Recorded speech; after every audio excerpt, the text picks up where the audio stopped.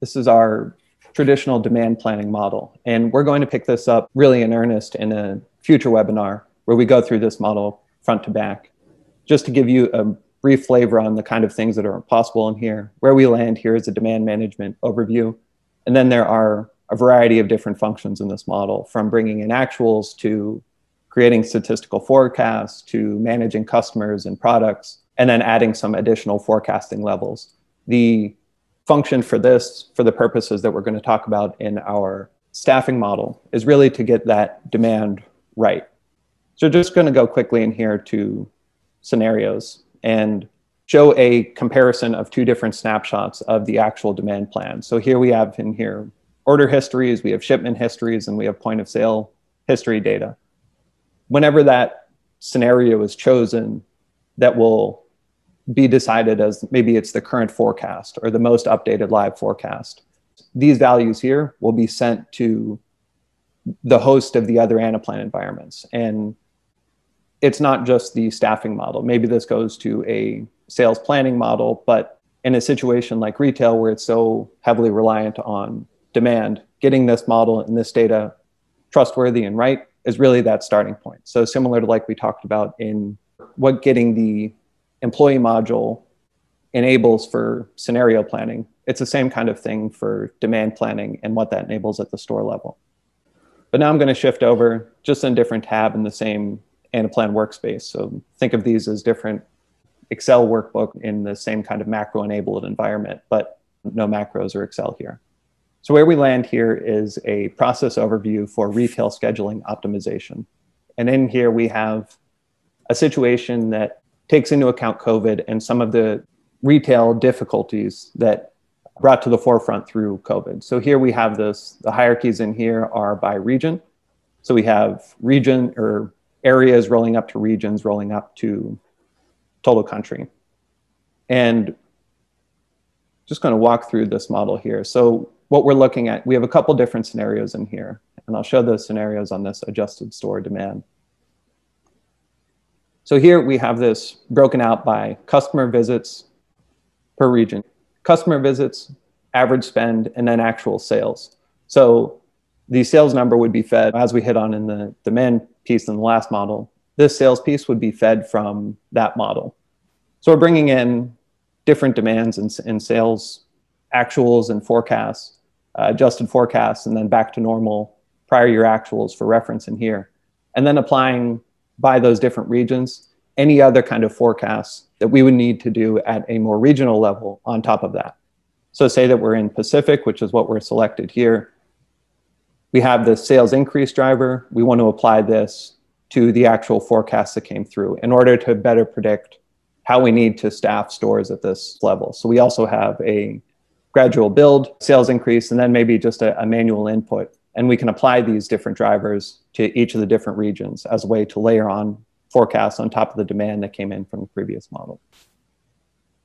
So as we work our way through this, now we push down to actual store revenue.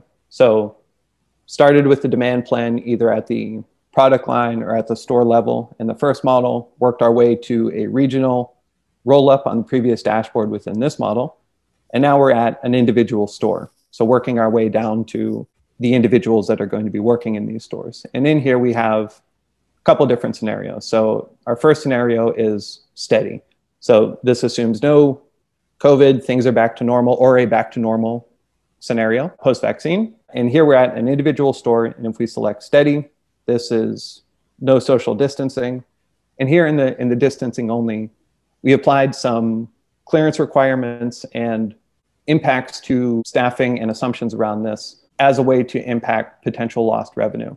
So here we see for each of the different roles, it's checkout counter, main aisles, shopping aisles, loading dock, everything we would need at a retail store, and then some assumptions around customer to associates, area footprints, and then max occupancy for the store. So using that demand forecast to generate who is able to be in these stores in order to meet that demand forecast.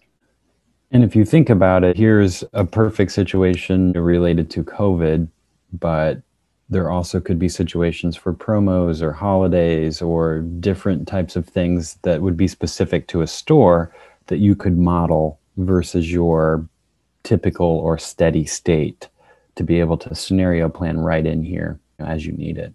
So the next dashboard is the employee roster. Uh, two webinars ago, we talked about what getting the employee roster right in Anaplan kind of enables. So for this dashboard, for this portion, we would leverage that information of getting that employee roster right.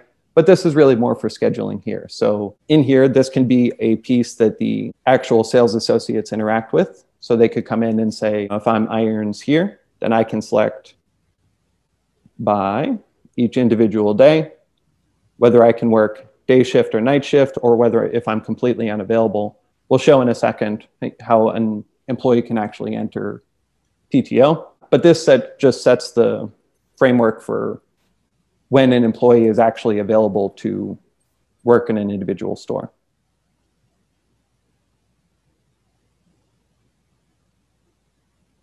This is just a dashboard to demonstrate how an employee could enter PTO in the system.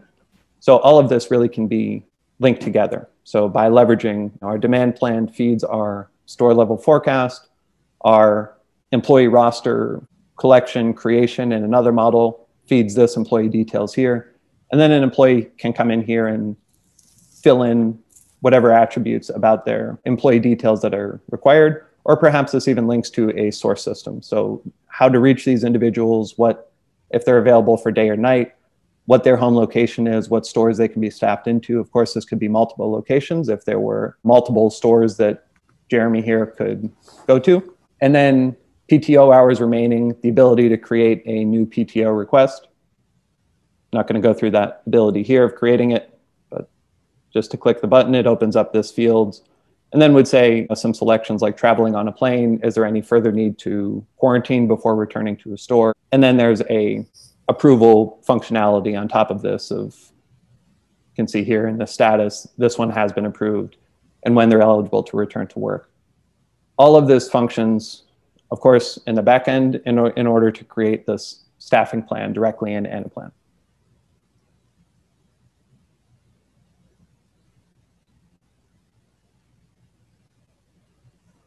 So we've covered what the, the arrangement of the employees and when they are available to work.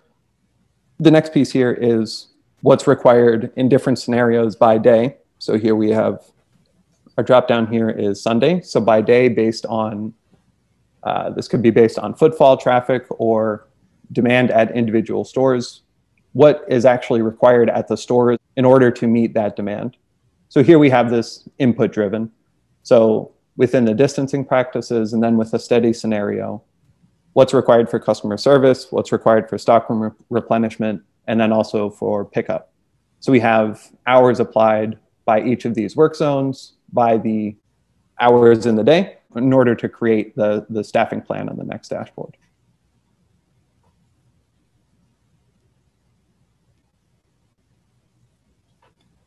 So again, this is by day, so a different pivoted view of the function, and then also the day and hour of the day where individuals are required to make the store function.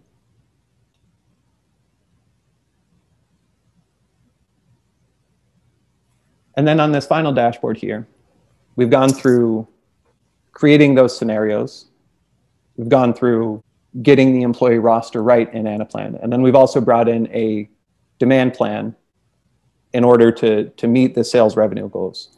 So Irons entered some PTO on some previous dashboards. That was a different interaction with the model. And then we select a scenario here, which scenario we're going to go with. And this is by day. So if we select, maybe things return to normal. And then we use the Anaplan optimizer in order to run this process. So this combines all of the data that we've gone through so that demand plan, an employee's availability, the employee's PTO, the employee roster, which was which we went over in a previous webinar, and now down to an actual store level. Now we've gotten away from that bulletin board staffing. So now we have a suggested, based on our scenarios, weekly schedule for each employee by each indi individual store in order to meet the demand plan. So really holistically, top to bottom, have combined demand plan with the sales revenue targets, with some of the employee attributes and their interaction with that, and have created now a weekly schedule for employees, factoring in things like you see here Wednesday and Thursday overtime for irons to make up for that PTO time. Yeah, and as we discussed before, the benefits you know, mentioned or expected outcomes connecting the enterprise, data driven staffing, the ability to better retain your workforce, and this trust in data can really be accomplished through something like this, where it's just a connection across the enterprise of a bunch of different data sources. Then you start looking towards the future and seeing ultimately connecting this type of process from a finance perspective allows finance to have better data, which creates better forecasts for sales and the associated workforce expenses to support those sales by stores for the different scenarios that the stores are able to adjust from that original demand plan, as Stephen illustrated.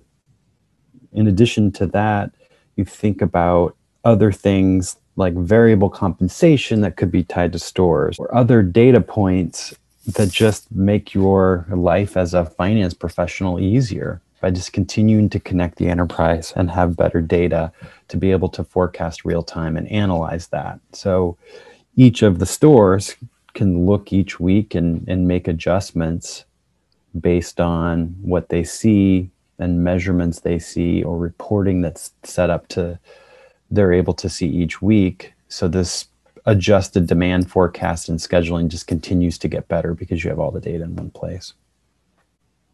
So with that, that takes us to the end of the demo here.